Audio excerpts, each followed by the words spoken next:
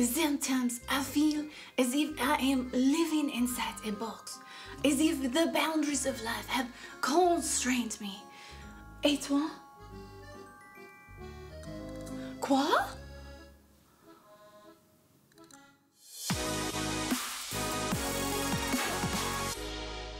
Hello, filmmakers, Ash here, and welcome to Film It Yourself.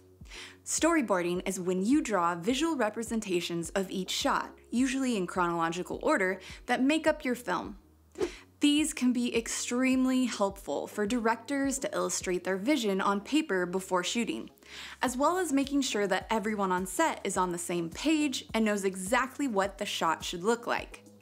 And you don't have to be a skilled artist to do them. You can be as detailed as you like, or as rough as you like. What's most important is that you're illustrating the gist and communicating the angle of the shot in the storyboard frame. A storyboard is made up of three parts. First is the frame that represents your final film's aspect ratio.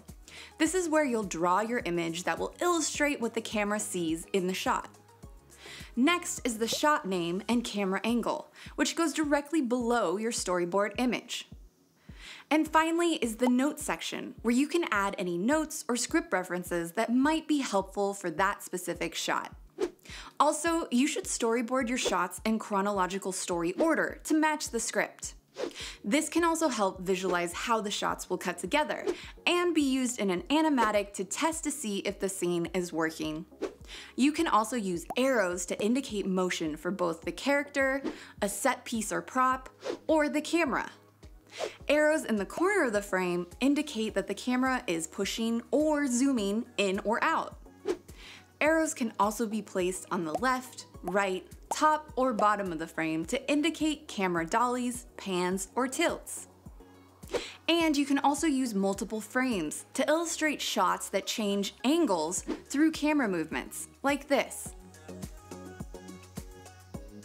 Storyboarding can be essential when your film requires CG or special effects.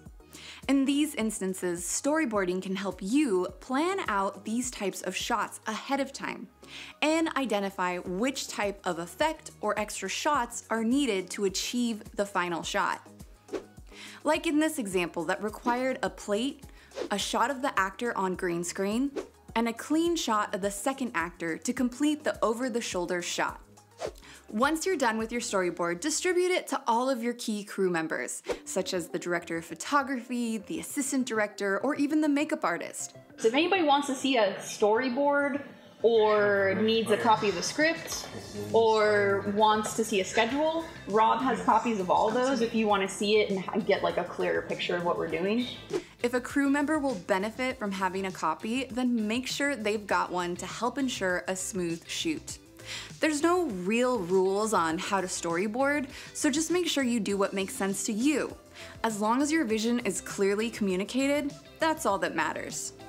And if you want to jumpstart to your storyboarding process, you can get access to all of my filmmaking templates, including a storyboard one, by supporting me on Patreon for the cost of a cup of coffee. And I mean, you know how important coffee is to a filmmaker.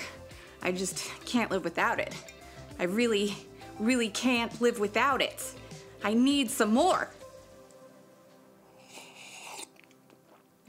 Ah, it is time for a close-up. Très bon, no?